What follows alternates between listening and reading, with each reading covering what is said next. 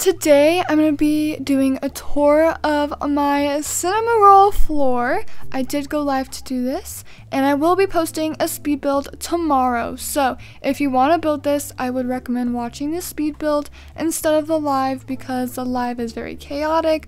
I have to leave and come back a lot and the speed build will just be much easier to follow and that will be posted tomorrow. If you do want to watch the live though, I will have it linked down below. It's a lot of fun. And let's just get into the Cinnamoroll floor tour. So it is on my third floor and if you didn't know, Cinnamoroll had a birthday event. So this is all the stuff from his birthday event. I will have everything listed off on the speed build so you know exactly what I'm using.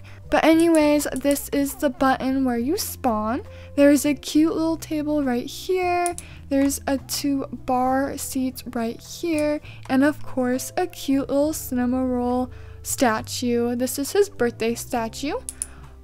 And here is a VIP room. I have a Pochacco sign up there and a Cinnamoroll picture right there just because I thought it'd be cute in here.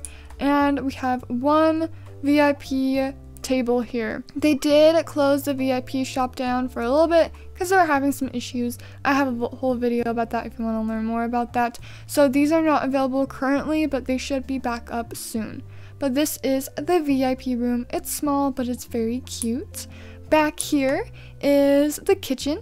I have a Cinnamoroll statue and picture and I also have a sink right here and then this is where all of my machines are at. This is all my extra machines that I had on my Valentine's Day floor which replaced this floor so that is why they don't really match but they are here anyways. If we walk out here you can see the main area. We have a huge bar over here with lots of pictures. I love Cinnamoroll. He is so cute. I love his statue and his pictures. He looks absolutely adorable over here. I also have this half rainbow floor, which is absolutely amazing. I love how that turned out. I think it looks super, super cute. There's also a little bit of clouds around. They kind of look like clouds. And then we have a piano in the middle with two large tables. I have a small table over here, jukebox, and another small table. Looking super cute. And then this big long bar in front of the stage. I decided to use this stage on this floor because it just looks really cute with it. We have some more tables over here, another statue. I have the Kindness Day wall light right there. And then I have some more tables over here and just lots of tables, a little bit of decor, and these walls I decided to add after this stream. So if you watched that and you're wondering what happened, I ended up adding these guys. They look super cute. I really love this floor. It's probably one of my favorite floors just because it's Cinnamoroll.